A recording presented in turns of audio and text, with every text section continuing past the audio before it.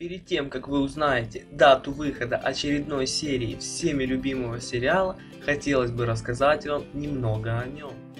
Ялчин, нашедший новые улики, вновь приходит арестовывать Азиза.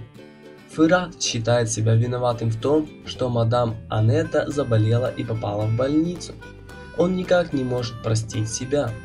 В холдинге создают совет директоров.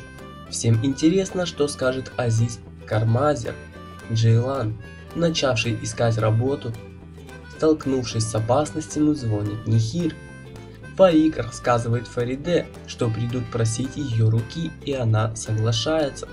Азиз, сознавшийся совета директоров, набрав подписи, выводит таксиста из компании и оставляет в стороне Керема.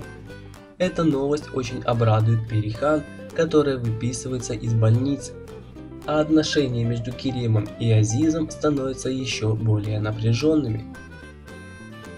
А посмотреть восьмую серию турецкого сериала «Воссоединение» вы сможете уже 25 февраля. Всем спасибо за просмотр, до скорой встречи!